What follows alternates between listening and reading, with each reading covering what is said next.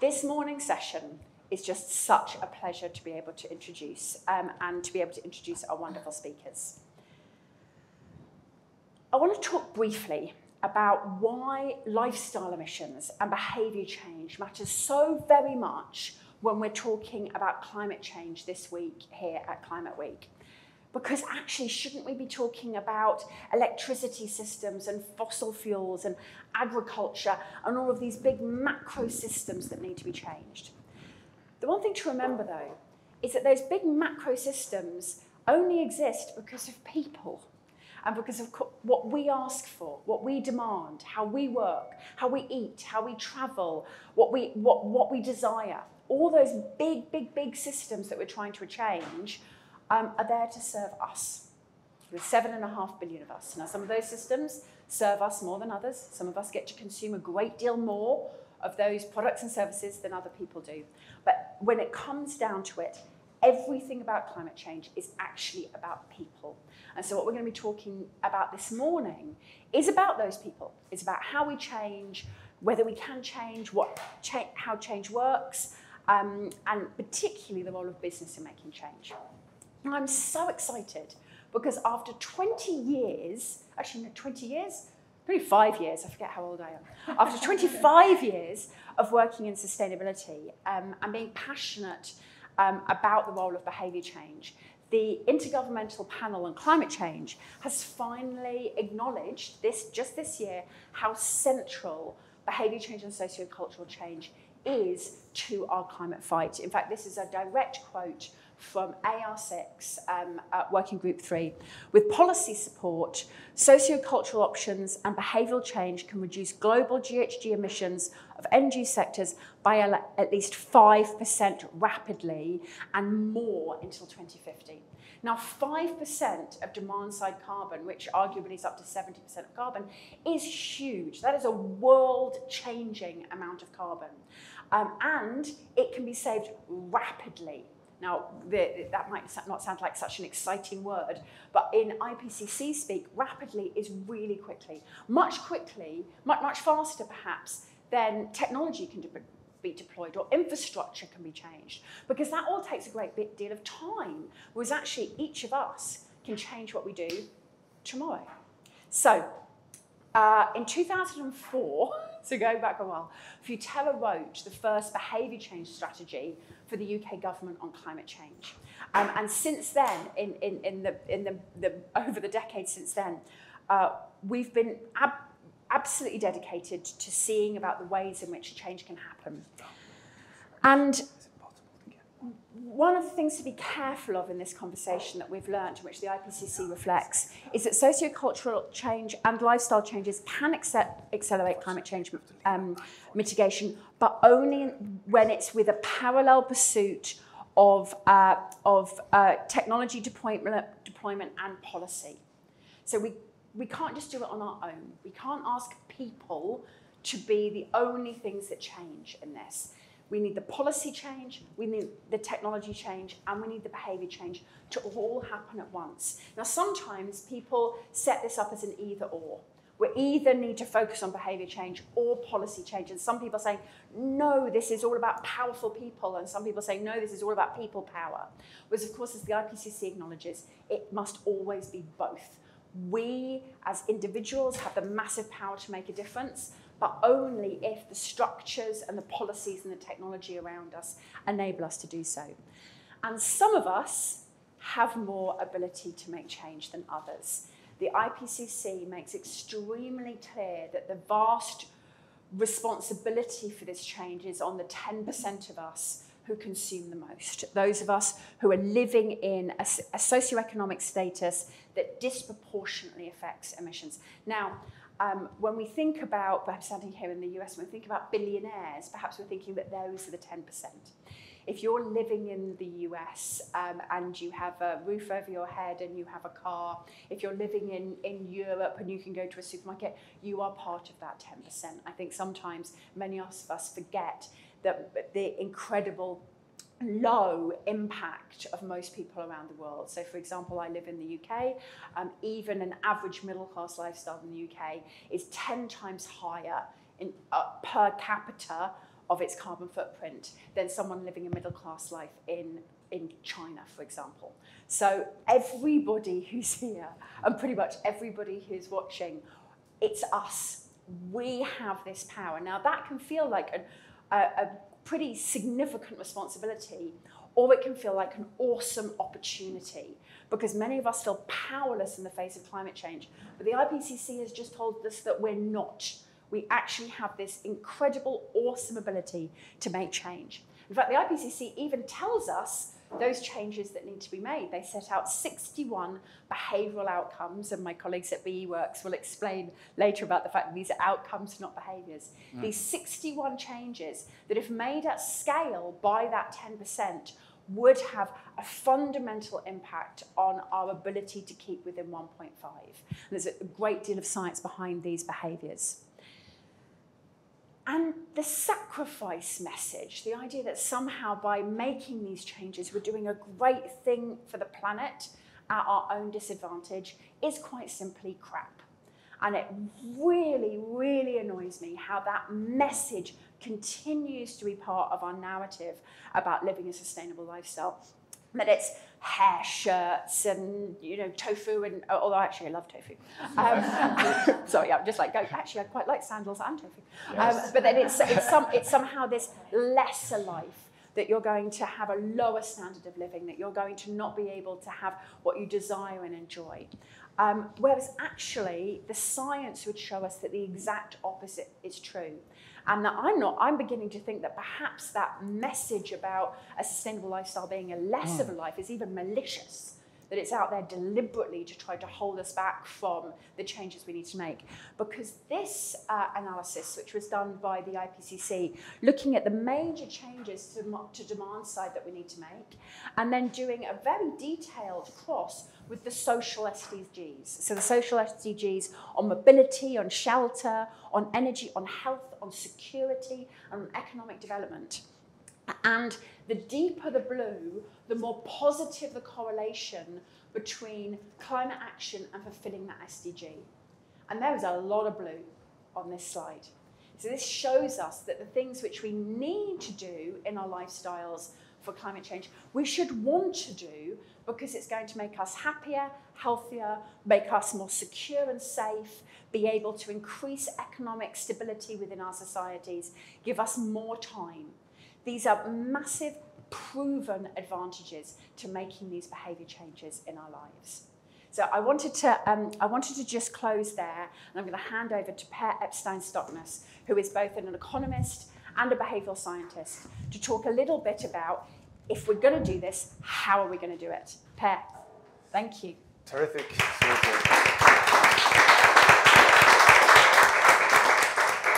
And what a wonderful introduction. So let me just jump straight into it. Um, studies show that uh, the top 1% typically have 49% of the emissions, and the top 10% incomes much more than half, right? So the gut reaction then of most scientists or maybe environmentalists, particularly in the rational Western sphere, is to put, get the finger out and feel moral outrage. We get into a blame game. So get the rich, tax the rich, stop you evil guys. And that includes me, of course. I'm a white male over 55 in wealthy Norway. Now, so that's correct. But is it useful? Does it help? And uh, I guess you assume what I think about the answer. Unfortunately, it is an ineffectual theory of change behavioral change comes from somewhere else. And first we have to understand then the barriers of why it doesn't work. And that is, um, I have way too few minutes, so there's a longer version of my TED talk on this issue. But in case um, you haven't seen it, I will summarize the five main reasons why this doesn't work. Point one, the human brain, particularly in those who have hearing about this for some time, is that climate news is distant, oops, is distant in time, space, and responsibility. So it doesn't really feel near and urgent. There are, you know, this is a, I summarized about 300 studies on this issue. Just Google psychological distancing if you want to see how powerful this is. Second, we've been hearing about how bad climate change is, how bad it's gonna get, and that you're responsible so many times that each time you get it, the response becomes a little bit lower. We are suffering apocalypse fatigue. So what the brain does is 1.1, it habituates. Secondly, it starts to avoid the messenger. So if you give me a blame, I'll, I'll stop listening to you. And third, I will project stereotypes back at you. You're just a goddamn tree hugger, as they say over here. mm. Third, dissonance. So, yes, I know what I should do, but I need a car to get to that party, I need to drive my kid, I need to fly, and so on. So we have this conflict between what we know and what we do, and the brain comes up with self-justifications. So I find ways to feel good about it. Cognitive dissonance is one of the most well-researched psychological mechanisms we have in psychology. It's like a bit, a bit like gravity in physics. Fourth, if you keep having dissonance and avoid doom, the brain learns not to notice. And it's automatic, so it goes down in the cellar. You now live as if you do not know what you do know. So you may be on climate week and get all fired up, but by Tuesday morning next week, you live as if it never happened. That's a social contract that subconsciously pushes it down. Fifth, identity, lifestyles, values. If somebody asks me or tells me my lifestyle is bad, it's no longer about climate science or rationality or, or facts. It's about me. And I get pissed because you're attacking me. And I want to attack you back. That's why the climate debate goes really bad. And of course, this is the polarization that is ripping America apart. So what to do about it and um, what actually works according to so social science? Well, there's a pretty good consensus on that as well, though different studies show different effects depending on the exact cultural context and situations and sectors, etc. So we need to keep working on it, but the principles are clear. I'm very glad you're going through many of these today. We have to make it social. So hello, we don't have time. Social networks really works. We have to shift the social norms so that it is normal to have a climate-friendly lifestyle. And you're weird if you run around in this kind of big polluting SUV when you could do an electric bike? Why on earth would you want to sit in a Suburban? That's the new social norms, the new normal. And then, of course, we need to get out of the doom barrier by giving people a balanced approach. Positivity ratio is three opportunities to each threat. Sometimes I get criticized. Stoknes, you're just a climate psychologist telling people to think positively. I get so tired. I've been saying it for 15 years. We should be very clear it's an existential threat and it's just amazing stuff of things we can do about it. Mm. So if you leave people with the first and not those three opportunities, then they start to tune out and all the other barriers get back. Dissonance, I think Google will be speaking about nudging, how to make things simple. Hopefully others will as well. It has to be a default. So if you if you're not attentive and you're not paying a lot of attention and not using your slow, rational mind, you just go there and pick something in the store or on the buffet, then you end up with the most climate-friendly options. Or if you just Google something and you find the most climate-friendly option on top, that's very helpful. Fourth, we need new stories and new signals. And I, I think I'm running over time now. I forgot to have my clock. There's no clock here. Okay. Ah. So, one key way to make behavior sustained is to give people feedback that they're doing something right. It's called the growth mindset. You need to have a little bit of support and acknowledgement that if you do these tiny steps, wow, that's cool, Per Espen. You're doing well now. Am I? Really? Yeah. Okay, let's, do, let's try again. Oh, it went well again. Yes. This is how the human brain works. Doing those long-term, by New Year's Eve, 1st of January next year, I will never fly again. Doesn't really work. But maybe 5, 6%, 7% better every year or every month or whatever you want to do. That helps. Then we need feedback from either apps or people, preferable people, peers, uh, support and trust. And finally, we need to change the story. Because if I feel that the world is going to hell anyway, I won't care. But if I feel I'm part of a larger movement, a, a community of people now feeling deep meaning and purpose in the sense of becoming aligned with nature again, aligned with the air, this beautiful sky that's breathing us. Wow, I want to be part of that. That really helps we get out of those polarized values and, and positions. So, are individual solutions enough? That's another criticism I often get. Psychologists are only on individual behavior. It doesn't really help. We need structural change. We need policy change. And of course, as a politician, I've been in parliament. I know that I'm not there to solve problems. I'm there to be re-elected. And I know what to do, but I don't know how to do it and get re-elected. So what we do need is individual behavior change that supports structural change, and the structural change supports individual change. That's a self-reinforcing cycle. That's what's lacking. We need to get that going. There is no systems, sustained system of structural change without individual change. And there is no in, um, individual change that is sustained unless the structures support it, and individual change needs to support the structural change, and the politicians get re-elected. Thank you.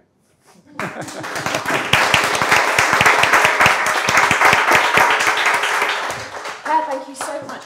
Um, I think we have time for sort of about one question for Per, if we may. Um, who's got a question about how we make change?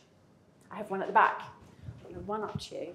And because I forgot to bring my mic, I'm going to come and stand really close to you so when you talk, that, that, that it, the, the mic here will pick you up. There thank you go. You, thank you.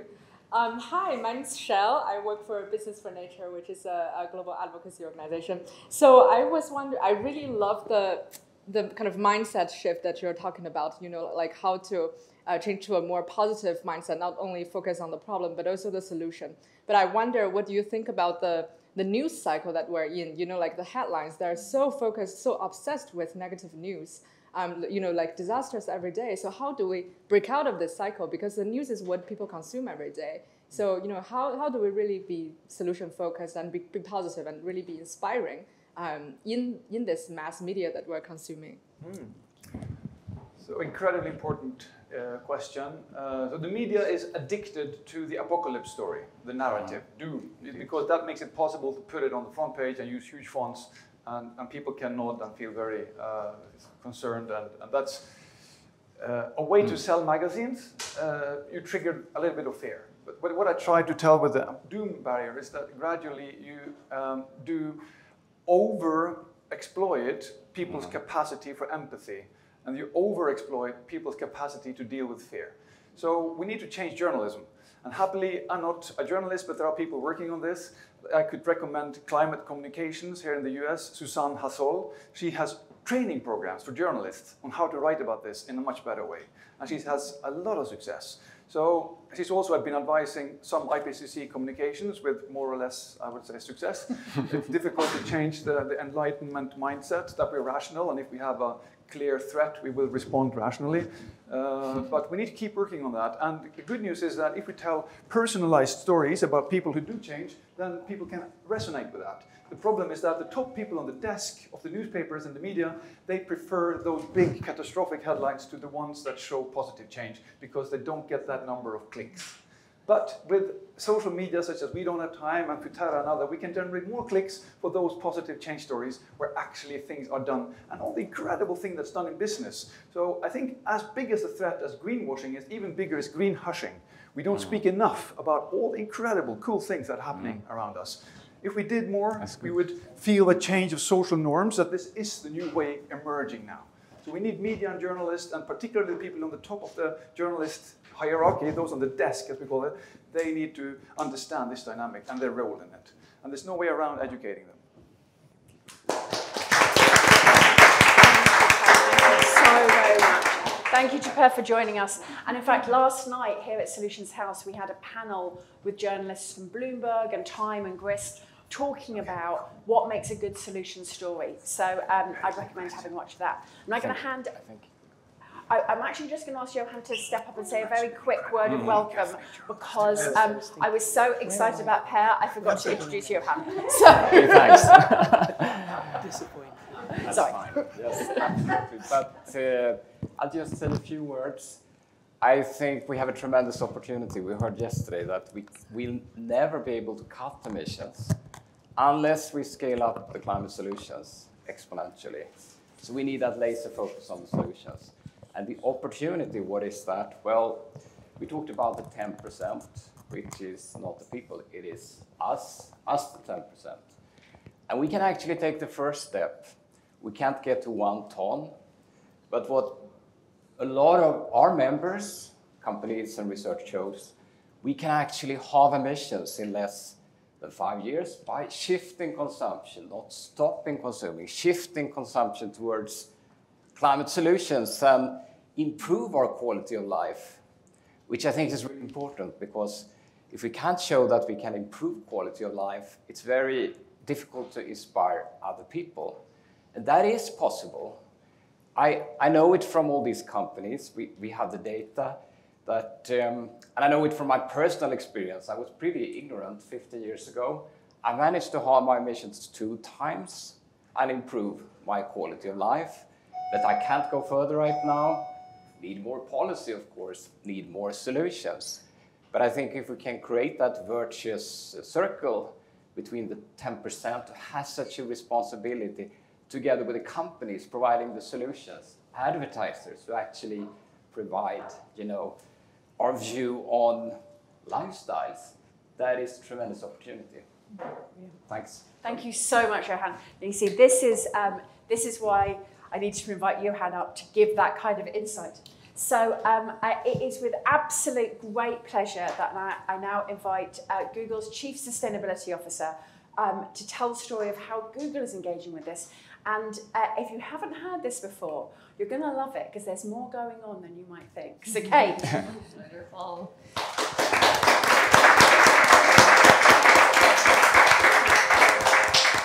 Well, good morning. It's such a pleasure to be here with you all. And Soli and Johan, thank you so much for all of your partnership. What an incredible space you've created here in the Solutions House. Um, thank you for all the amazing convening you're doing here. And I'm so happy we're having this conversation this morning. As, as you're alluding to, Soli, this is a topic that I think presents so much opportunity, and we've already heard so much from all of you about that. And, and Per, I'm excited to talk with you afterwards. Thank you for those excellent remarks. Uh, really, I think you set us up so beautifully, grounding us in all of that information. So thank you. And I also just want to thank Soli and Johan again for your partnership, your thought leadership. Um, and Johan, it's been such an honor for us to be a part of the Exponential Roadmap Initiative with you. And congrats on the new playbook that you just Thanks, launched. So, um, lots of things to be grateful for this morning. So I wanted to begin uh, in how we think about this at Google. You know, we are a data company, and we like to look at what are the search trends telling us. Like, what are people actually looking for? What are they interested in? And this is something Soli and I have been talking about for some time. And so I wanted to share with you a few things that we've seen um, from Google search trends. We've seen that terms like rooftop solar power, solar energy, and electric bikes have increased in just through the roof over the last several years, almost exponential growth in how we're seeing people's interest in searching for these topics. And so for us, that that's been really meaningful, and we've actually seen that increase really significantly during the pandemic, where you might have wondered people have other concerns, we're living through this global crisis, but in fact, we've seen interest in all of these sustainable lifestyles topics increase dramatically year over year over the last several years. So we took note of that at Google um, and I will and I will tell you, Per, I don't like to call it nudging. I actually don't think of what we're doing as nudging. I very much think of it as meeting people where they are. We're seeing this huge demand from people, and so we want to meet them with sustainable choices. And we really like to think about it solely to resonate with what you said as the easier choice, the better choice, in many instances, the more cost-effective choice. And so that's very much how we have been entering into this space. And so a couple of years ago, I, I, had the opportunity to partner with our CEO, Sundar, leaders across the company, and Soli, to think about what, what is our third decade of climate action at Google. You know, I often say this has been in our DNA since our founding. We've been working on sustainability for a really long time. Uh, but as we were approaching this decade of this decisive decade that we're in, we said we should really articulate a new strategy for how we want to approach this work in the next decade. And we thought about it through three dimensions. Of course, it's about leading at Google. It's about how we put our own house in order, how we lead by example. So we set a net zero by 2030 target, and we, in partnership with Johan, have really looked at especially the deep importance of reducing our emissions by at least half this decade, and then we'll take care of the rest of those residual emissions to reach our net zero target. So that's crucial. That is very hard work, um, but also that is only the beginning of where I think we can really have our impact. And so we've also looked at how do we support our partners through our platforms like Google Cloud, where we can enable other businesses to reach their targets. We've done a lot of deep work with cities. We actually want to enable over 500 cities by 2030 to reduce a gigaton of carbon through our tools and solutions. Um, and of course, we want to think about this opportunity we're here to talk about today, which is how do we give people these easy choices that they can make in their daily lives to meet them where they are and to enable them and to empower them. And I so appreciate what you were talking about, Kara, that we need to help show that actually this can be exciting, this can be better. Uh, and so that's really the spirit with which we're approaching this. And so we set a really near term target that by the end of this year, we want to enable a billion new sustainable actions through our core products. And we're making really good progress. And so I wanted to just spend a minute sharing with you all what that looks like for us, kind of where we are on this journey, um, but also where we're heading, because I also really think we're, we, we've only just begun in this work.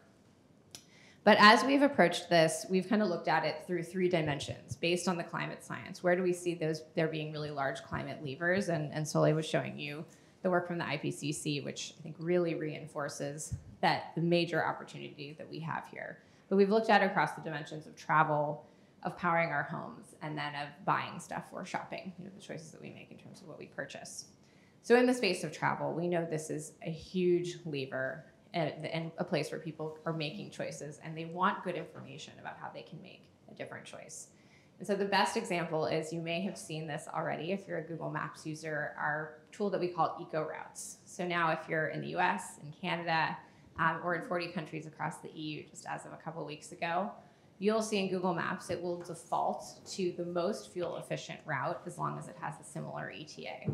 So in the background, we've done a lot of really deep work with the National Renewable Energy Lab to figure out how do we do that? How do we make sure that we're sending you on a route that is truly more fuel efficient, less carbon intensive, and shouldn't inconvenience you too much, maybe just by a couple minutes? And in fact, when we launched this in Germany, we had a major news outlet who tested this in real time. So, as you all know, live demos are always a little nerve wracking, but they mm-hmm. sent two of their reporters out to test the eco routes, and they found that they did indeed save a huge amount of fuel and they only arrived a few minutes later. So this is working and you'll see it has a little green leaf so you'll know you're on you're on the eco route. And also we're able to measure the impact. And I and I think I want to come to that at the end of this conversation, but I think that's really crucial and where we need to move this is how can we actually quantify for people the impact that these decisions are having? And so in this partnership with NREL, we've been able to measure that just since October when we launched this in the US, we've been able to take the equivalent of 100,000 fuel-based cars off the road in terms of emissions reductions. So really powerful. This is a huge opportunity. And then also Google Flights. You know, you saw one of the major levers is how we choose to travel.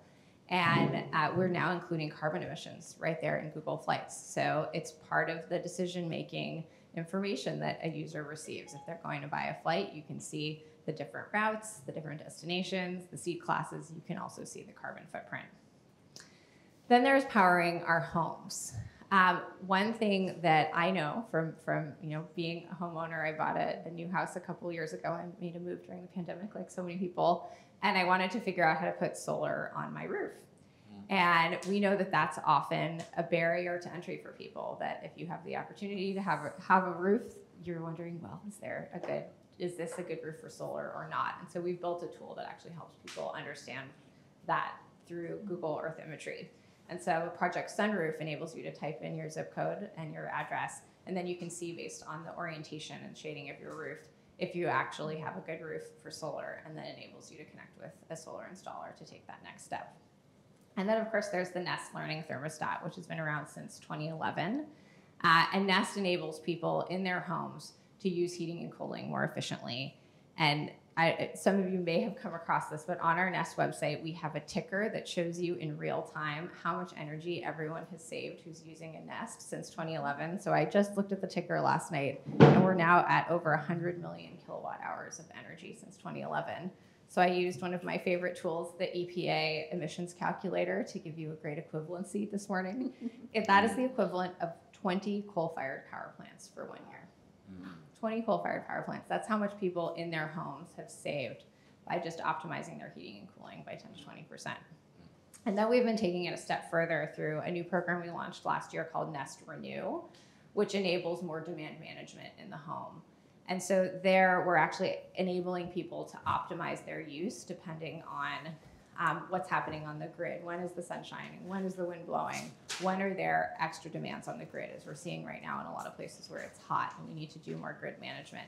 That's what Nest Renew is able to do in the background. And again, we're seeing some incredible results. My team just shared this with me. We've been working with the Rocky Mountain Institute, and just in this early pilot that we've done, where 350,000 households have participated, um, we've seen uh, that we've helped prioritize clean energy usage for over uh, 10 million hours collectively. And that's just with this initial preview of this tool. So, really powerful opportunities for demand management, and our homes can be a big part of that solution. Uh, then, shopping. So, we know what we buy is these are actually very large decisions that have a long carbon footprint. So if you're buying an appliance or you're buying a vehicle, these are major decisions that you're making, both from a cost perspective, but also from the life cycle of that product. And so we've been working to bring in more helpful information for people when they're buying a dishwasher or a washing machine. Um, and using really trusted eco labels like Energy Star, for example, in the US, that's run by the Environmental Protection Agency. And this is a really big opportunity as we look at the Inflation Reduction Act. We now have almost 400 billion of tax incentives, many of which are going to be focused on giving people the opportunity to buy more energy efficient and cleaner products.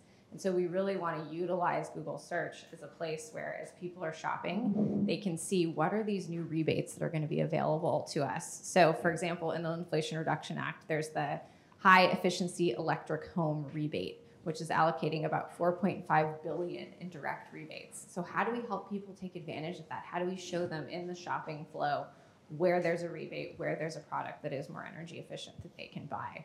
So we see a really big opportunity there. And same thing goes for electric vehicles. Um, we're, we announced last year, and soon this feature is going to be launching, where we'll be showing a lot more detailed information in Google search about the comparison between an electric vehicle and, and an ICE vehicle. So looking at the estimated annual fuel costs, showing you all the different rebates that will now be available via the IRA in the US. So again, just an opportunity from our perspective to give people helpful information when they're at the point of decision and then enabling them to make a more sustainable choice. But I really will tell you, I think this is absolutely just the beginning of the work that we want to do in this space. And I really appreciated Per and Johan, you both were talking about storytelling. That's such an important piece of this. So I'm really excited about the opportunity that we have through YouTube. We have an incredible storytelling platform. And in fact, on Friday, Soli and I are going to go spend the day with 50 major YouTube creators, um, people that you know who walk down the street and people know who they are, um, to talk to them about how do we tell stories about climate in ways that are authentic. Um, and I think there's such a huge opportunity that we have there. And I know I've heard of, of other colleagues, um, like my colleague Emma Stewart at Netflix. I was in a session with her yesterday. She's having the same conversation inside Netflix. So that storytelling opportunity is huge. I see a hand, yeah. Hi. David Wilcox um, wonderful stuff. Yeah. Fantastic stuff. Um, could I suggest one place where we're missing the spotlight? Yeah. Great to spotlight the searches. I've been to a dozen conferences here. I've listened to some really high-level people, Columbia, et cetera, et cetera. Um, they say a lot of things. Every other sentence includes a word. The word escape. Mm-hmm. I would suggest that if you looked at the answers instead of the searches or in addition to the searches, you would find we don't know anything about Scape. You wouldn't find any answers there. So whoever is hearing the word and going to search is getting virtually nothing, which given that the high levels are saying every other word sentence, it's there. And there's nothing in the answers, might be worth taking a look at. Say, say, say a little bit more in terms of the climate solutions and where we need to be investing, or are you talking out sort of outside of oh, So- individual so- choices? so we were all taught the correct definition, definition of scale by one of the greatest scalers in the history of the world, COVID.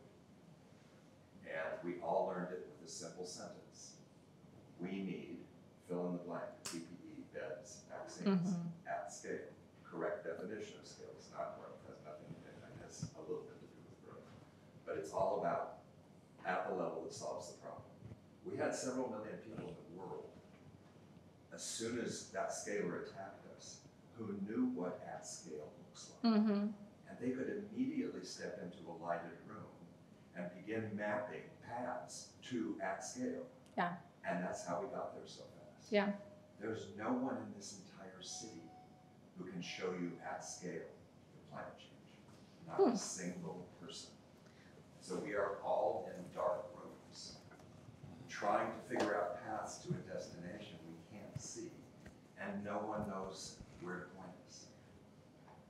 I very much appreciate the comment, and what I, I, I will say, I think that company organizations like Johan's at Exponential Roadmap are actually doing that, of showing us what is that roadmap to scale. Or I'm a huge fan of John Doerr's recent book, Speed and Scale, um, that is actually really trying to show us exactly what is that playbook, what are those levers.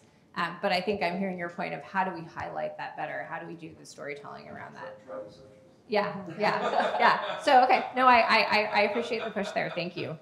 So let me, shall I wrap up? Yeah, yeah, please. Oh, well, I, actually, I was just going to come and sit next to you. Oh, I'm please. enjoying this. so- Okay, good, good. yes, yes. So, but but and let's talk more afterwards. I would love your I would love your perspective on that. Um, so the last thing I just want to say in closing, and, and kind of coming back to how Soli and Johan teed us up, is there is so much opportunity here. Um, speaking of the large levers that we have, absolutely we need companies to be setting net zero targets and to be achieving them and to have the transparency to achieve them. And I will tell you, I think there is even more opportunity here in this space of what does it really look like for us to put climate action at the core of product strategy, to meet people where they are, to give them those helpful actions that they can take in their daily lives. And I've been really heartened in a lot of the rooms that I've been in this week of hearing from peers in many different sectors, from consumer goods to financial services products and others that are saying, we want to do this too, and we want to figure out how to unlock this potential. So I have a bit of a call to action, which is that I would love for us to come together around this. And I do think one key piece of it, and I know we have a, a great speaker who's going to come on in a little while to talk from WBCSD, is the measurement. How do we really put strong measurement behind this work so that we understand its impact? And I shared with you some of the examples that we have where we have a really strong ability to measure things like Google Maps and Nest. But we need a lot more work here, and I think we need to come together around this because it's going to be hard, it's going to be imperfect. But I think that presents a huge opportunity and will enable us to unlock this potential. So I'm excited to continue this conversation. Um, and, and thank you all and, and appreciate the comment as well. Thank you so much, Kate. Um, Kate, if you actually, if you just stay with us for one saying- more second, right, just got it. I, one of the other reasons why I came up here is because I think there might be a few more questions Oh, great. for If we have time for so, more questions, um, let's do it. Does anyone else have, have a question for Kate? I know it's quite a big deal because we all live in Google. So um, here we go at the back. I'm afraid we're going to have to do the same thing with my mic. So if you come and sta- just stand next to me, that's fine. Thank, you. Well, amazing, amazing job, Kate. Congratulations. Uh, we were just talking uh, here in Frontper about uh, news and how news uh, outlets are addicted to bad news, doomism. Um, many people, I would say, most of the people get their news through Google News. What I, I know the work you're doing with the UN, with other organizations to kind of bring up um, solutions, climate solutions. But are you working with uh, solutions journalism, for example, uh, to bring up more of the solution side of things than the doomism side of things? Thanks. Thank you. Yes, and I think coming back to the point on storytelling, which is so critical. So, so you mentioned the work we're doing with the UN. Absolutely, we're working with the UN Act Now platform, which is very much related to this conversation we're having of how do we show people those 10 UN Act Now principles of those actions they can take in their daily lives that are meaningful. So that's been a great partnership. And then I mentioned YouTube. That's I think the place where we've really begun because I think our YouTube creators have such a unique voice in this space. They're reaching people in ways um, that I that I think you know none frankly none of us can do.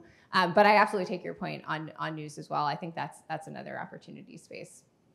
Kate, actually take a seat Yeah. because I'm going to invite um, another corporate to come up and join us, perhaps at a slightly different scale, but uh, uh, but also working on this issue of how do we engage publics to take action. So Eva, do you want to come and, come and take a seat as well? So Eva um, is the CEO of Houdini, uh, who make these wonderful um, uh, outdoor and indoor door clothing. And, and at Houdini, would you say a word about what you've been doing to engage your consumers in, in how they can take action? Yes, uh, yeah, and we're at an entirely different scale for sure. Uh, so we know our customers really, really well.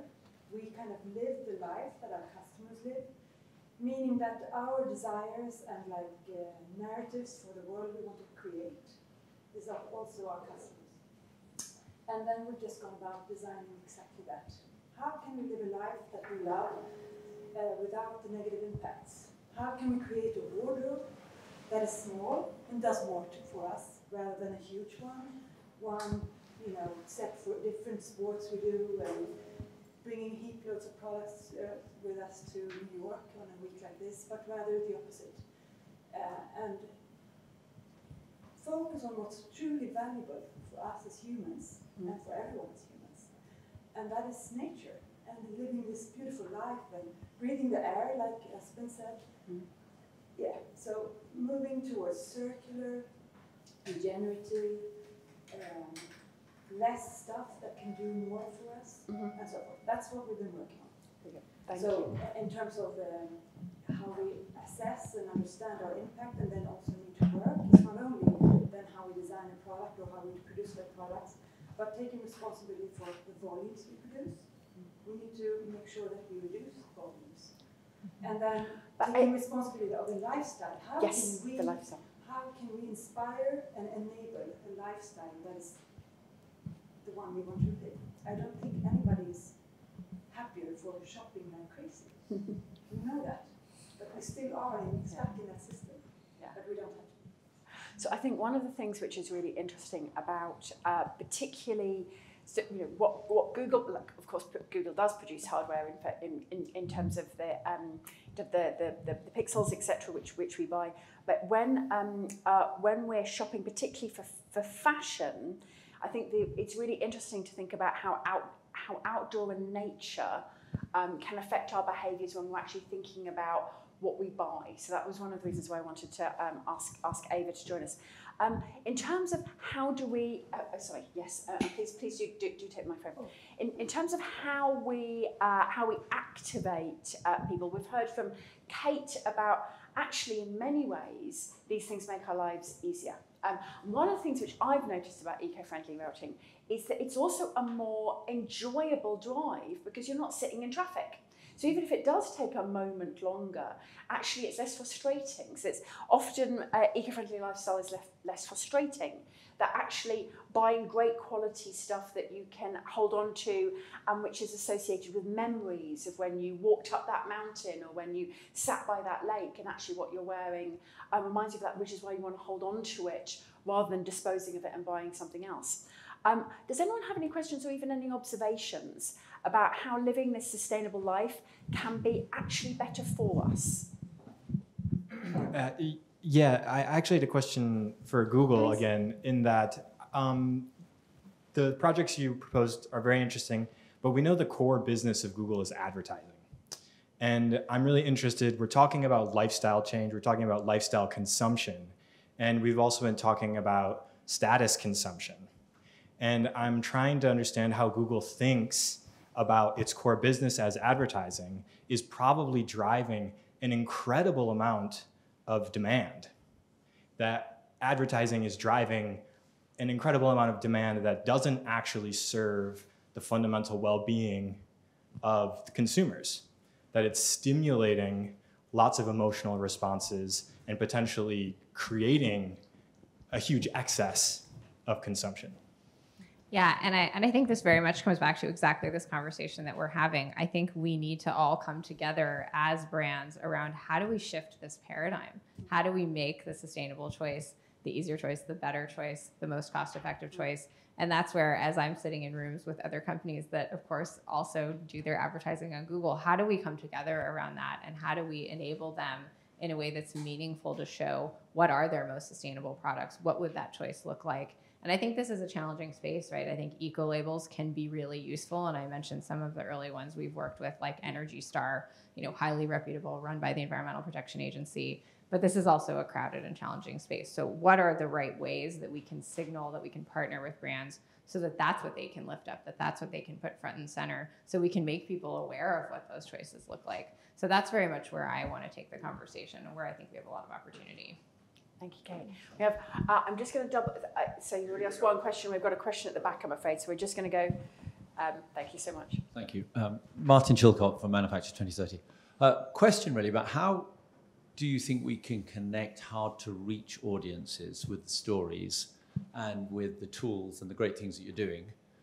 When when you mention YouTube to me, I'm, I'm not saying this is the case, but my concern is that we are talking to an audience through YouTube who are going to be already wanting to engage with the story.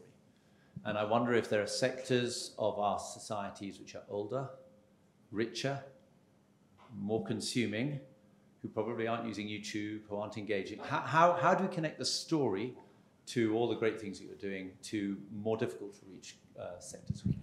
I love that because usually when we talk about difficult to reach sectors, we're talking about the young or the disenfranchised. Actually, the old and the rich as a difficult to reach sector. That's such a great point. Yes. And, and I, I would honestly put that question back to you. What are your recommendations? Yeah. What do you think are the good opportunities? Yeah, come on, Martin. Actually, Martin's an expert in this, so yeah. Yeah. well, we, we are, we're- I'm working with some guys from the BBC and from Yeah. uh, Entertainment World at the moment about trying to use reality TV formats um, where we've got, and, and you can tune the personality in the reality TV format to the hard to reach audience you're trying to reach, you're trying to get to. So it's very flexible, um, and that the types of uh, reality TV formats are sort of challenge formats where you have teams against each other who have to do something more sustainable. They have to change their homes, they have to go on a holiday in a different way, they have to do various different things. And, and so those are the sort of formats we're looking at at the moment and looking to see if we can connect them up then with something that's much broader and much wider than that, that television program. But, but that's the sort of thing that we're exploring and I think it's possible. Yeah, I think that's really interesting. I would love I would love to talk with you more. So yeah, no, I think it's a great point. Thank you so much. I'm afraid, I'm sorry, sir, but we're, oh, Eva wanted to jump in, I'm afraid we do have to get to our next panel. So, Eva, did you, would would you just take the microphone there, Eva? You have a beautiful, softly spoke voice. Yes, sorry, you didn't hear me late, earlier. So. Uh, yes, I just wanted to mention you uh, had a slide with a 5% Yes. potential of 5%. I just have one data point with me today, and you know, in the Western world, there's an average use of a garment of seven to 10 times, and then it's discarded. And we know that our users use our products more than a thousand times over 10 years' time, several times a week for many different activities. I'm wearing Houdini today, and I would go running in it. It's maybe not this one, but anyways.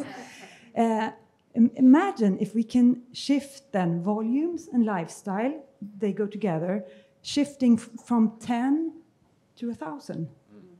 Imagine how much less products we would produce, how much less money we would, and waste that will be re- reduced as well. And there's, there's so many benefits for all of us individually, societally, and then planetary, of course. Thank That's you, the Eva. opportunity. And actually, just to close, that's an opportunity that it, people want because, of course, one of the things which the Google search team shared with me was the fact that we're all searching for how to live this life. Searches for uh, uh, how, how to buy a cheap electric car, searches for um, plant based diets, searches for solar panels on my house. These searches are on an exponential upwards curve in terms of publics across the world. And I think that's one of the things we can ask every single survey question we want to ask. We can, you know, get people in focus groups about sustainable lifestyles. But one of the most encouraging things for me is that people are actually out there already asking these questions. And Google has the data to show that this is something which the public wants to know. And the question, of course, is what answer we, are we going to give to that? How are we actually able to fulfill that clear desire that people do have to live this life? And that's what we're going to be talking about on our next panel. So I want to thank Kate Brandt and I want to thank Eva so much for coming up and talking about this.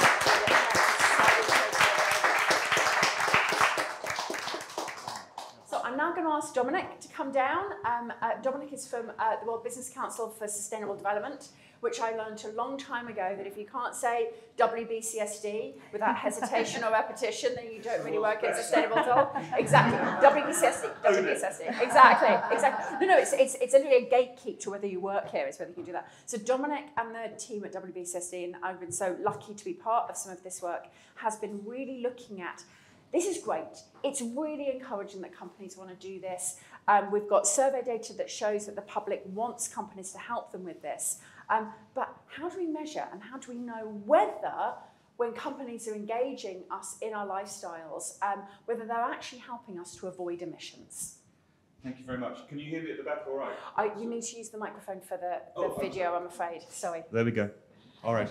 Um, so thank you very much uh, for having us here. Um, super discussion. I'm trying to sort of, you know, segue um, into another stage of this. But let's go on a journey. Uh, and actually, was brilliant, um, the stuff that you were saying there on the search. So, scenario number one.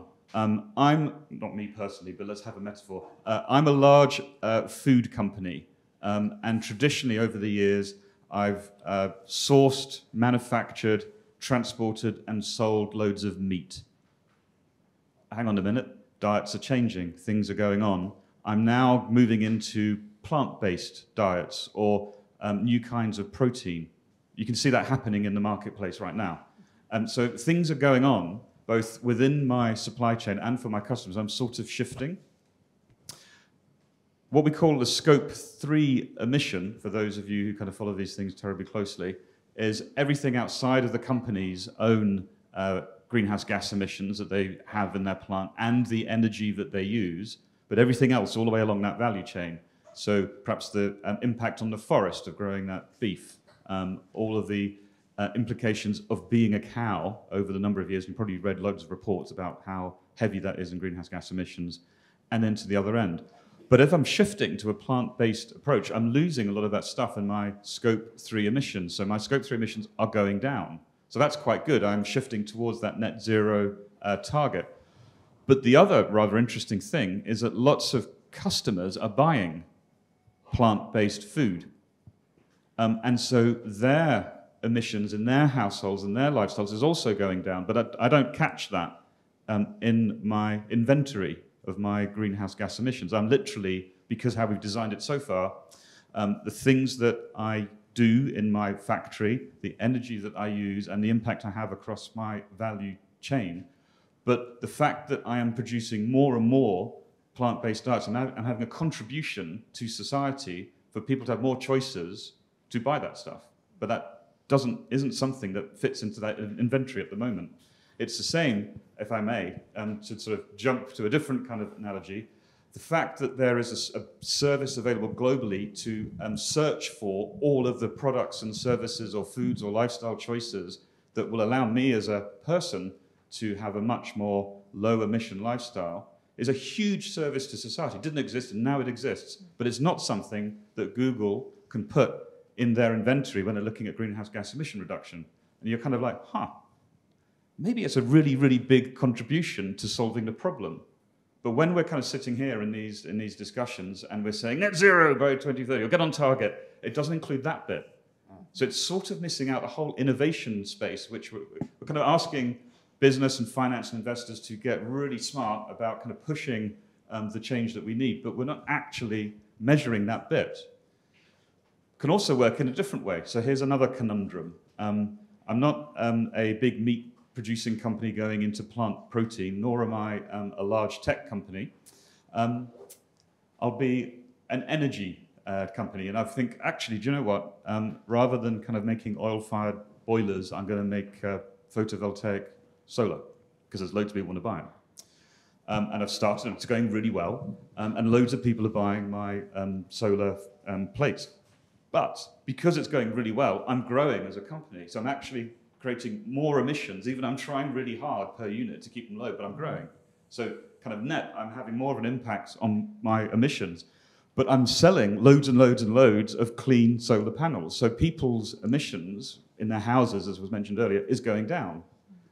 But I don't catch that benefit because I'm only able to account for what I am producing, either the energy that I use, the factory that I have, or when it goes out the door. I can't, I haven't got the societal gain of all those people now using my product and changing their energy from oil to solar.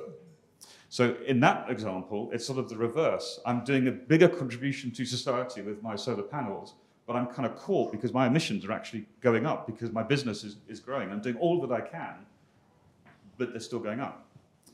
So this piece um, at the end of the jigsaw um, is starting to take um, quite a lot of interest among people. And the term that's emerged is called avoided emissions. And you can absolutely see um, probably half of you are thinking, oh, that's quite interesting. Another half thinking, oh, yeah, I can see what's going on here. right? and that's the conundrum. Because if we want to shift lots of business investors to go down this path, it's all about kind of the incentive. It's all about showing the societal gain. Um, and it's all, if you're in the kind of business investment community, about kind of finding methodologies and frameworks and KPIs um, and incentives and rewards to do it. And for society and decision makers, it's all about trusting the information.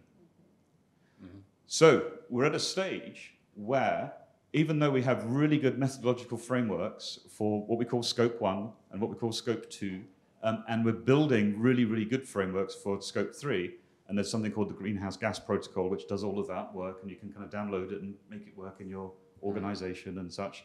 Pretty good. And we have science-based targets to be able then to say, well, I know now what I am measuring, and here's my target, which I want to get to by 2030 and towards 2050.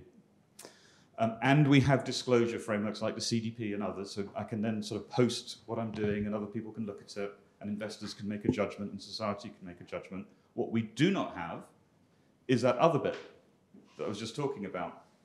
Um, and that doesn't exist in the inventory. You can't kind of put that in that protocol that was just there because it's actually about innovation and a societal contribution. It's almost like uh, an, an, innovation protocol that's required to help kind of provide more choices, more opportunity uh, to society. But if you capture that, it starts to change the game a little bit for some of the most progressive, most exciting companies. They could be big, could be small, but that contribution to that um, journey is huge. And that is the methodology that is required. Um, and that is the methodology that we're working on at WBCSD with about 40 um, companies and stakeholders and experts to make sure, like we built the Greenhouse Gas Protocol, that it's not a kind of a greenwash exercise, it's true, and it doesn't allow people to pretend that what they're doing is that when it's not. Um, but there are lots of companies and enterprises who are doing an awful lot in that space, which can add a new huge contribution. And then if you think about it, if you do have that inventory, um, which starts to look at the innovation side and the opportunities and, and products and services and innovations to society um, in those avoided emission spaces, as an investor, well, that's a pretty interesting company to be in. Now I've got metric to know I want to put my money in there. It's not just about kind of keeping their own house in order. It's about the opportunity and growth and space that they are providing. It's also very true for the company itself to think, hmm, if there's a methodology and a metric, and investors quite like that, this will help me target key markets or key segments to really push my new product range because I can see how I will get um, that measurement of the contribution that I am making. So um, quarter four of this year, there'll be um, a first cut at this, which will be an assessment methodology for avoided emissions. So if you are on or around COP, um, you know, you'll see the exciting debate where some people will be very enthusiastic and some people will be picking holes with it, but that's fine. It's part of these processes that we go through. Um, and then into 2023 it will become quite a thing, I think. Um, we are getting a lot of interest in this from um, markets in Asia, uh, Japan, who have the G7, and I'll close here next year. Um, there's a lot of Japanese companies who they're going, they have a net zero target in Japan, so they're having to do their scope one, scope two, scope three but they feel they have an enormous amount of technology in things like air conditioners or, or solar, you know, that they can sell to the world, much more so than other markets. Mm-hmm. Um, and for Japan, as a, um, their NDC, for example, their nationally determined contribution. And for the companies in Japan, this is a, something that they're very excited about, but they need the methodology to show that it's not just sort of you know, making it up is actually a really true contribution. So that's the avoided method um, emissions space, um, and there's a methodology on its way. And if you're interested to engage, um, then please do. And thank you very much, uh, Kate and others, for kind of stimulating the conversation. And we're starting to kind of grow our maturity about how we can measure and deliver on the whole spectrum that we need to um, have these sort of solutions for uh, consumers. I hope that's a sort of sketch of, of what the space is. Thank you. Great sketch. Thank you so very much. Thank you Dominic, I'm actually going to ask you to take, we're going to come to questions in a moment. I'm actually going to ask you to take a seat and then we're going to come back and do a panel in a moment. But, but yeah, yeah, go away and then come back. it's not a yellow card. Yeah, yeah, yeah, yeah, yeah. Don't go too far. Yeah, yeah, stay where I can see you. Um, uh, because uh, this avoided emissions uh, framework work is so important to actually give some rigor and some boundaries to what everybody's talking about in terms of enabling this lifestyle and behaviour change. Now, uh, Dominic gave some examples there. Um, so, uh, providing a solar panel is a very obvious way in which you're enabling a behaviour change. But other ways in which you might enable a behaviour change are a little bit more perhaps uh, uh, unclear in terms of how would you actually know whether you were behind, but changing the behaviour because buying a panel or not buying a panel is one thing. Um, uh, uh, turning down a shower to, to a colder or turn or putting your washing on 30 rather than 50 that can be a little bit more difficult to know whether you've done it and much much more difficult to encourage because those one-off big purchases of a car or a solar panel we use our executive processing for. We sit down and we make decisions. But the vast majority of what we do every day that has an impact on climate change are actually our daily behaviours, our daily consumption behaviours, which perhaps we're not using our executive function for so much. We're actually using some of our habits, our heuristics, perhaps slightly more our heart than our head. And I'm so pleased to have Angela Cooper here um, and also Wardah from BEWorks, who is a partner of Futerra, to come and talk to us a little bit about, well, how do, can we actually change some of those behaviours, which then we're going to be talking about with Dominic about their me measuring. So please, Angela.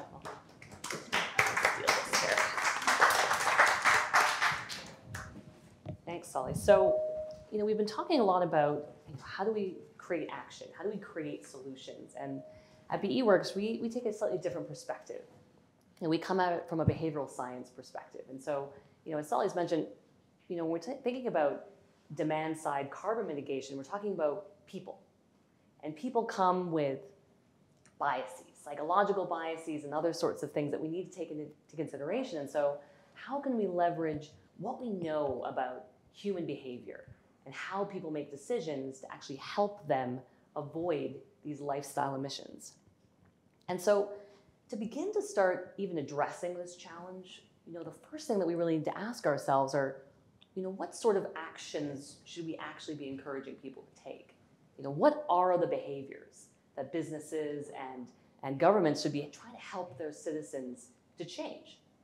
Seems like a fairly straightforward question. What, what action do people take? And in fact, as you know, Soli's already mentioned, you know, the IPCC has identified over 60 what they call mitigation behaviors. Seems like you know they're laying out a, an action plan. Companies can just select their behavior of interest build a behavior change campaign to drive that behavior. Perfect. But you know, we as you know, when we sat down and looked at this list, you know, from a kind of behavioral science perspective, we were noticing they're actually not behaviors. You know, thinking about less packaging, food waste reduction, fuel efficient driving. That's the outcome. And what's missing is, well, what are the actual actions that need to be taken to achieve that outcome?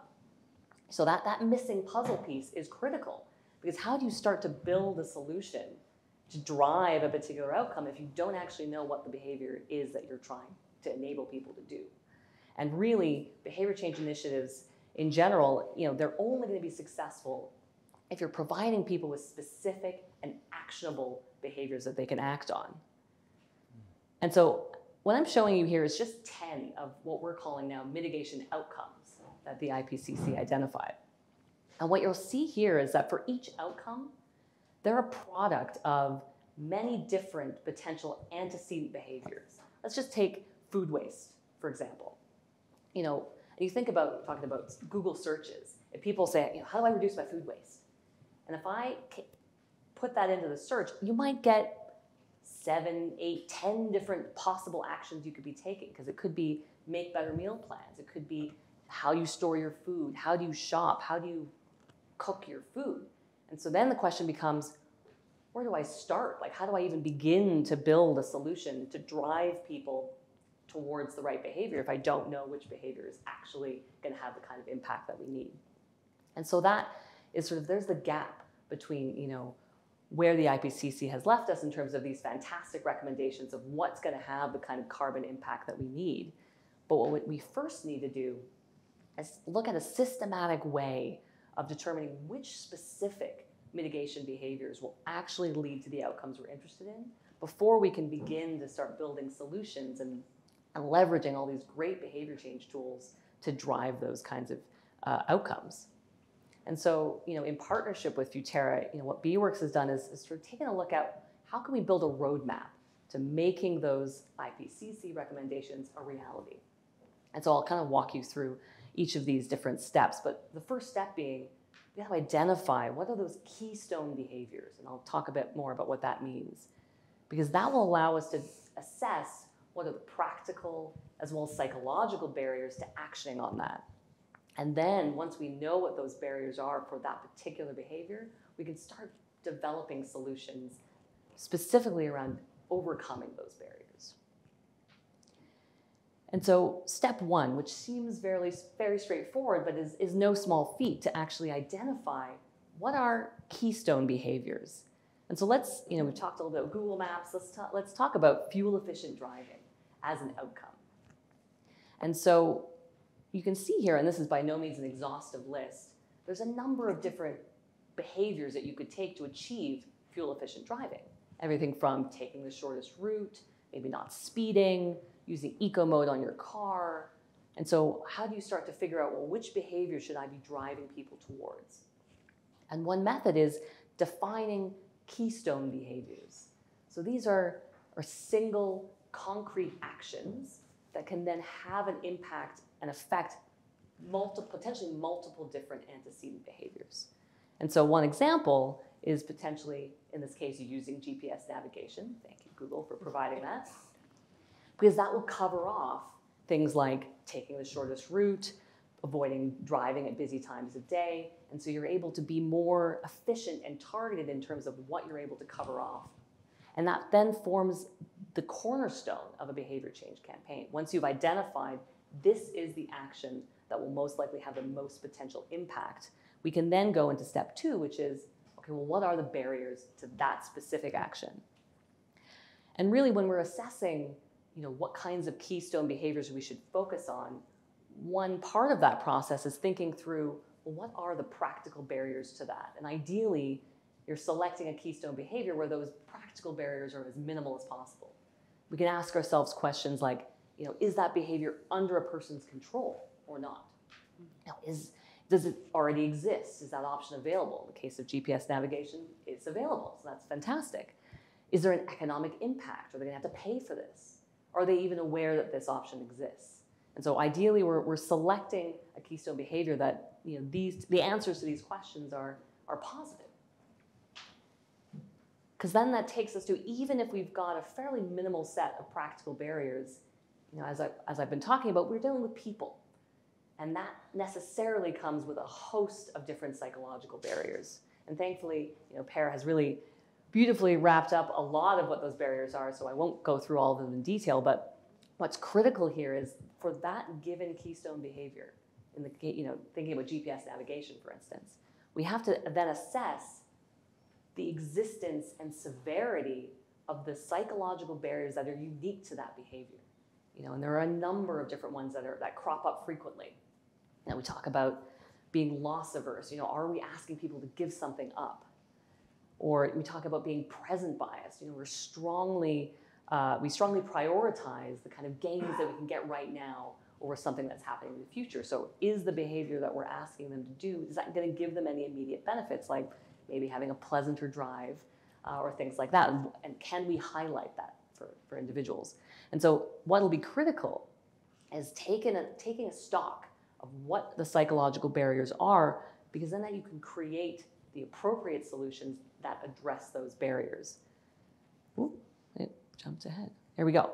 And so, you know, and thankfully the IPCC, you know, they've laid out a number of, you know, well-validated, fairly classic behavioral uh, science tactics, things like defaults, um, communicating norms, feedback, reminders, all excellent tactics.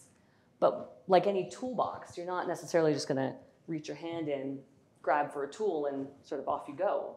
You want to try and select the appropriate tool that will be most effective for the behavior that you're interested in driving. And so that's why it's so essential to first take that step back and go, what, what's the psychology at play for this behavior? Because then I can select and, and be more informed about which tools I'm going to select to overcome those barriers. So if we, we take this GPS navigation again as an example, we might you know, diagnose that for this particular behavior, maybe there's a lack of trust in technology, or maybe there's a feeling of low self-efficacy on the part of users. And so then that allows us to kind of hone in on what's the appropriate behavioral science tool to address that barrier. So in the case of lack of trust, maybe it's about communicating a social norm to help over, to help build trust. Oh, everyone's everyone's using it. This is very common. Or to build people's self-efficacy. Maybe it's about framing the, the navigation less as a as a, a driving aid that maybe feels like a crutch, more of an innovative tool. You know, it's you know you can think about what's the kind of creatively different ways you can instantiate behavioral tactics that address the psychological barriers that you've identified. And so, just to, to sum up, you know, from our perspective, the IPCC recommendations are, are fantastic. They, they're, they're goalposts. You know, they give us the destination that we're interested in. And what's going to be really important to think about for you know, everyone in this room and, and those who are interested in building solutions and, and taking action is what is the necessary roadmap to get to that destination? And it's going to really, because we're dealing with people, it's going to fundamentally come down to understanding why people make decisions, the decisions that they make, and how that affects uh, their behavior. Thank you.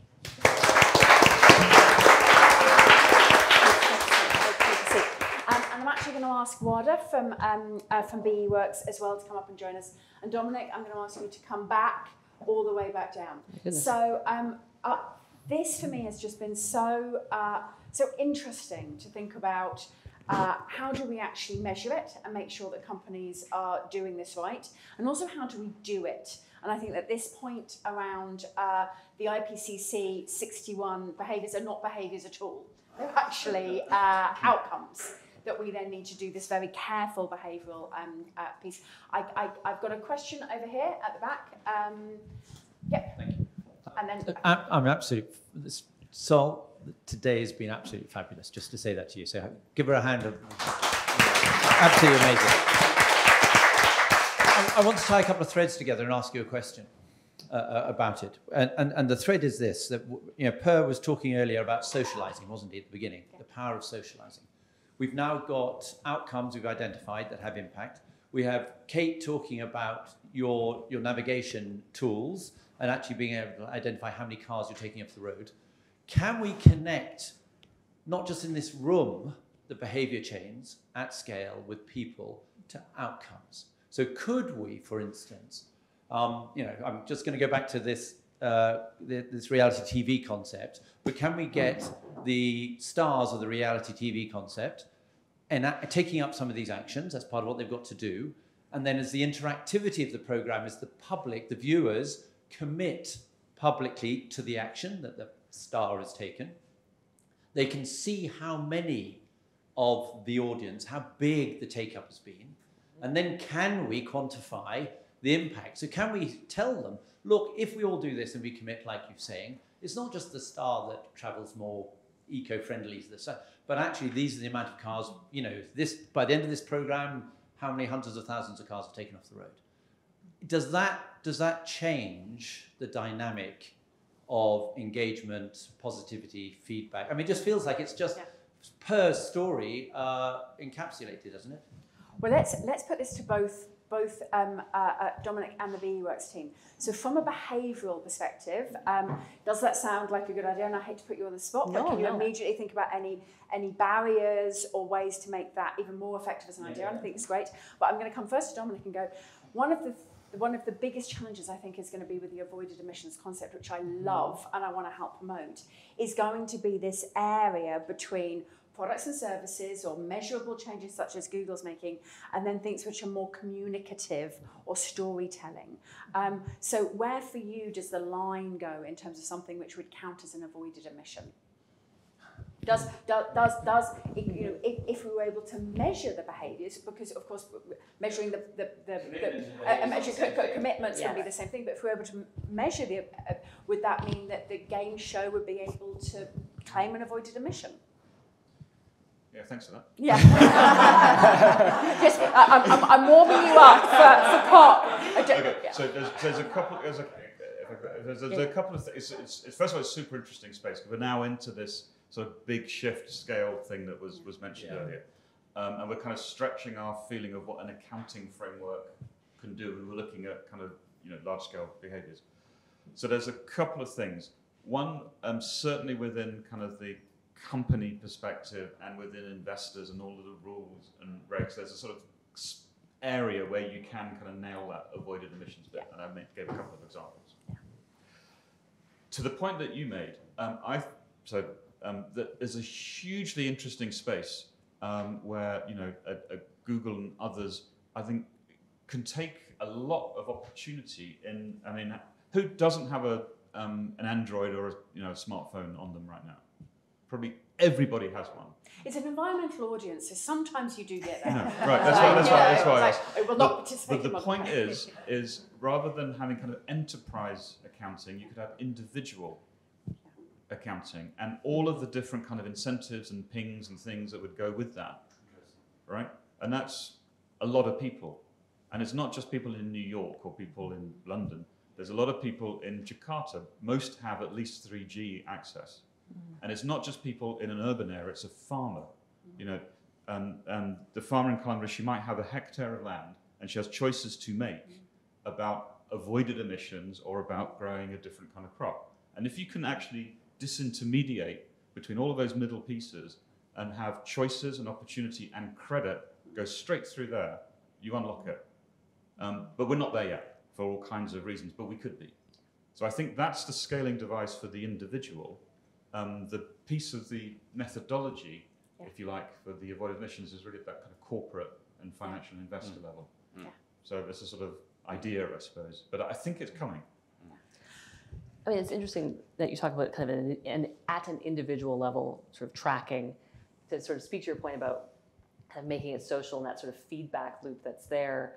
You know, there's been a lot of research on the, the power, of course, of, of social norms, you know, at an aggregate level. And I think there, there are dangers potentially to, to providing feedback, particularly at an individual level, for, because for a lot of these behaviors, you know, I, I've worked a lot in food waste, you know, the amount that an individual saves on a daily level is seemingly negligible. And so if you're sharing that back, it can be potentially demotivating, being like, oh, it's only like 20 grams.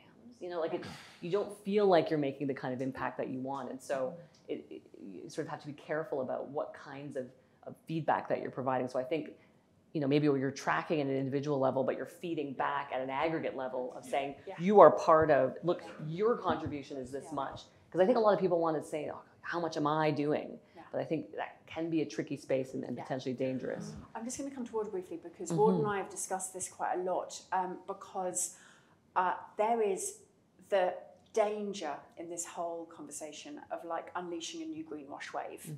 Of going great the IPCC has given us these behaviors. Every ad firm is is girding itself up to say we do behavior change. Look at this wonderful ad- advert we've made encouraging you to recycle your cups um, but but what I've, I've been talking about if you can't count the carbon it doesn't count like if you actually can't count the behaviors and therefore the carbon um, and so f- from, from a behavioral um, uh, it, like how hard is it to actually measure whether beha- whether anyone's actually done the behavior? Well, I think that's a great question. We, it, I think it probably depends on what behavior we're trying to measure, but I love that technology is a part of that now because Google's power to even understand whether people go to a destination. Do they look up a solution to do something and then do they actually follow through by taking a different mode of transportation, for example? You can tell us whether people drove and took the eco-friendly route or did they actually switch over to public transit or walk or bike because you're providing all of those options. So I think it's getting easier and easier to actually measure those things and bring it all together.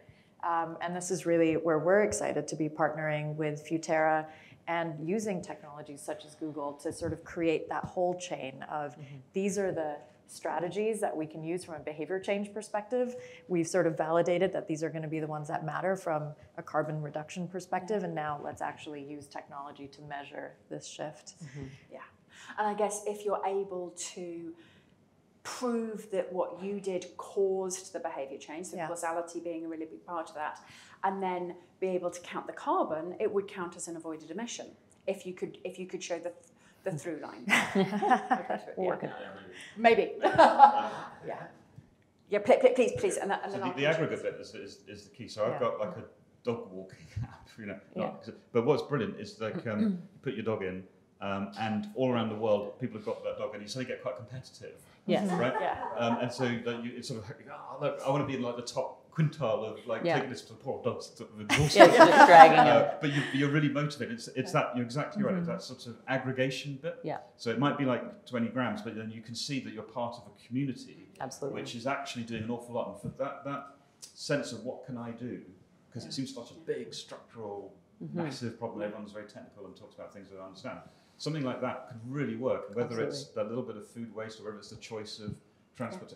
Today, I've been part of two billion people who chose to Yeah. do this, and Mhm. it's told me that I've contributed to saving those, whatever, loads of tons. Mhm. I Yeah. feel good about that. I've Yeah. done my bit, and I want to do more. I want to be in the top, you know, all that Yeah. sort of stuff. And like, Dad, did you do it? Oh, shit, I didn't do it today. Yeah. Yeah. You know, that thing. And Absolutely. I think that's that's this it's a huge opportunity, but that Mhm. not technically yet what that avoided emissions method. It could be, but at the moment Yeah. it's very enterprise focused Yes. Yeah. because we, to the point that was made earlier, we do not want this to be a get out of jail card. Yeah. Um, Behavioural offsetting. So, so we, we can be very excited. Yeah, yeah, yeah. You know, very excited about the opportunity space, but we have to get the rules of the game right. Right. Mhm. With no wiggle room for big companies to do, you know, Yeah. the right thing. So that's like what that methodology is focused on. Yeah. But absolutely, the opportunity space is huge. I think in this area. The other one quick point that I want to make is that social comparisons, they're great, they're wonderful, they get used a lot, but one thing that we've seen work quite well is comparisons to ourselves. So when we are extremely motivated to create change, coming out of an event like this, and you know, you, you've got the show and people pledge and they're following through, is to not forget that you did this once. So this is where you were today and you've made the right actions. And if people start to slip, it's important to remind them that you were capable of doing this. And I think testing out social proof versus individual growth and reminding them if they're slipping or where they could be to set a new goal is, is, is an important Well, to- strategy. well, Guys, pair- oh, exactly, sorry, or go running, so you're running fast. So I'm going to take two very quick questions, but they must be questions um, only. So quick, quick, one one sentence question, and then I'll go to, to you, and then we'll wrap up. Well, I feel like I'm at the Edinburgh Fringe and with a group of people who took too small a room. it's really great stuff.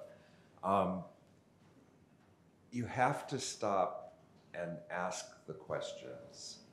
What questions did the people who set the objective and the people who set the measurements not know to ask? And therefore they set the wrong, they set an objective that was limited and they defined measurements that were limited. If you don't ask those questions, you will miss scale. Scale will not happen. Yeah. So just keep that in mind. I mean, I'd love to hear can you take your corporate data gathering and aggregate it into what are the most popular strategies that are being selected by the companies? What are the strategies that they considered that weren't selected? What are the strategies they didn't consider that are better than either of the first two groups? That's the kind of data gathering that gets us to scale. Definitely. Yes. Thank you. And we're going to take one, one very quick question as well, just before we go to. Thank you, Evelyn. Quick uh, question. Partner from Systemiq. Uh, I come from the industrial decarbonization world, so completely the other spectrum. I would say I actually found this the best session that I've seen so far, right? And I've, I've been everywhere throughout the city. So thank you so much. to elaborate on that. I told you you could only ask a question, but I know. I mean, I can I'll take that I'm, I'm going to give you one more, which is it's also the session that gave me most hope that we might actually get there. And so I wanted to leave you with a quick thought. Is I think the ex- the examples were really excellent. They also go a little bit more into right what are the incremental changes that we're seeing versus I think what we in the end need is a systems change towards 2030, right? So how do you get to that 50% reduction, which means for every single individual, also here in this room, but also outside of the room, it's a 50% reduction where both the incremental changes will help, but also the bigger changes. And I think that's exactly, and I think that was the gentleman in the beginning, right? Is how do we get, right? Also with all of the examples that you give, all the way down to that 50%. Massive. Brilliant, thank you. So, uh, in fact, in both of those questions were about scale. So, um, uh, uh, you, I'm so sorry, you've literally just started this work and about and about to launch it. How do you scale it? Okay. So um, one of the earlier speakers uh, quoted um, uh, the former European Commissioner Jean-Claude Juncker, which um, for a policymaker, everyone's quite smart, right? But, and he, and the, the quote was, "We know what to do, but we don't know to, how to get re-elected once we've done it." Yeah. So the scale problem is not necessarily a technical solution; it's the sort of political regulatory space to allow everything to take off. Yeah. And that's a confidence thing.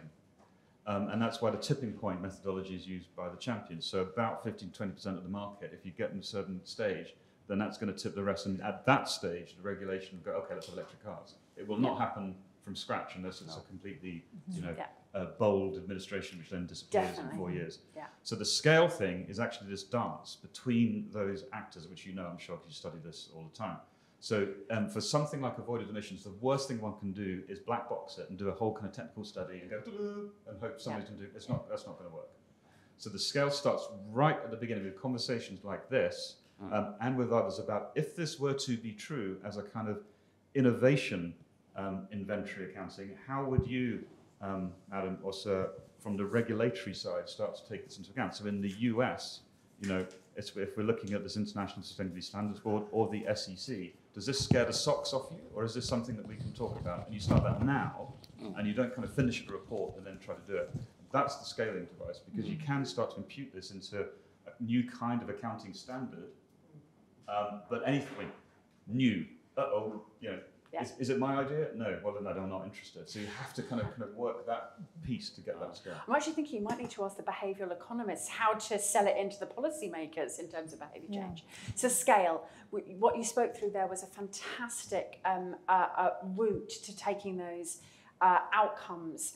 Um, but we need, according to the IPCC, we need those outcomes to happen at scale if we're going to save this 5% of demand side carbon. Yeah. So um, is it lots of incremental leads to scale or is there a faster route to scale?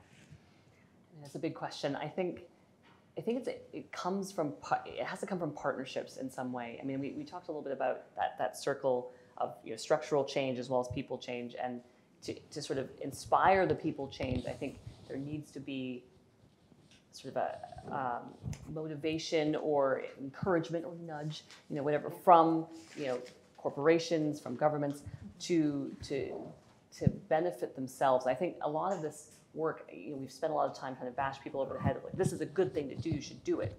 But I think it's about making it personally relevant to them, not necessarily just about saving the environment, but how is this going to, because we're so present biased, it has to be how is this going to help me now?